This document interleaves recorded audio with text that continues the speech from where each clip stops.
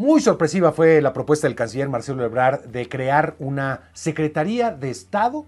para la Cuarta Transformación, cuyo objetivo sería el garantizar la continuidad de los proyectos de la Cuarta Transformación, los proyectos principales. No solo eso, que la encabece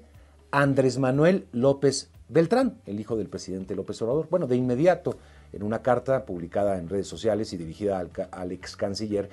López Beltrán le dice muchas gracias, pero no, tengo un compromiso familiar de no participar en política y mucho menos en un proceso en donde que queremos que el piso esté parejo para todos y todas a los cuales respeto. En fin,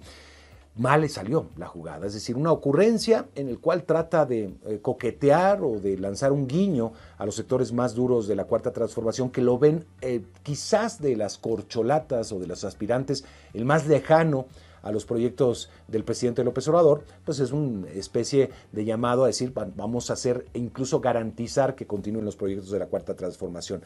Lo irónico de todo es que si una oportunidad tiene el canciller, ex canciller Marcelo Ebrard, de llegar a un electorado amplio, es precisamente esa lejanía que tiene con algunos eh, sectores eh, de, duros de la cuarta transformación. Es decir, esa, eso que puede ver como una debilidad es quizás su mayor fortaleza, el llamar a sectores que no votarían o no refrendarían su voto de 2018 por el proyecto de la Cuarta Transformación, porque han, se han sentido eh, excluidos, porque han sido insultados, clases medias, medias altas, sectores empresariales, académicos. Ese sector que lo ve como una posibilidad, precisamente como una eh, forma de ruptura con la actual administración, pues es lo que le hace de alguna manera fuerte. Pero él sabe que también necesita el, el voto duro de la cuarta transformación. En fin, está en una encrucijada que la pone de manifiesto abiertamente y me parece que fue un error ya